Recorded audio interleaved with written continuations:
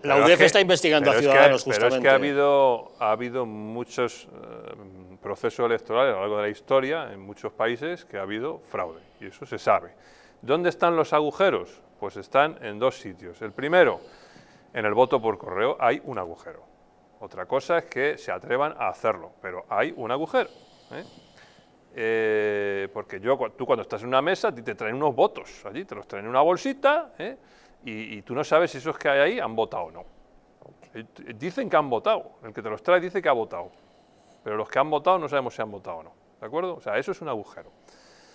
Y segundo, eh, alguien ha podido suplantar su identidad. Eso es un agujero, eso es imposible de demostrar. Y segundo, hay otro agujero, que es cuando el funcionario mete los datos en el ordenador, de, cuando coge el acta de una mesa y mete los datos en el ordenador, cuando viajan por ahí, hay otro agujero.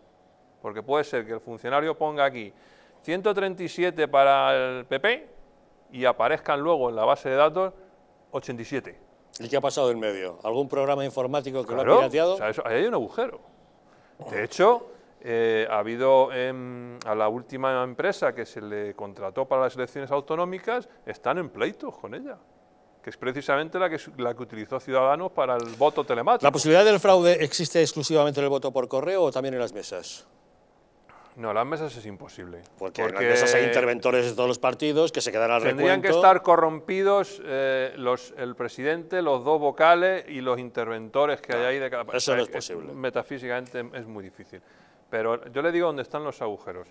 No sé si me quedan dos minutos o después de don César para hablar de un tema de dato que, económico en Madrid. Luego hablamos de economía. Don César.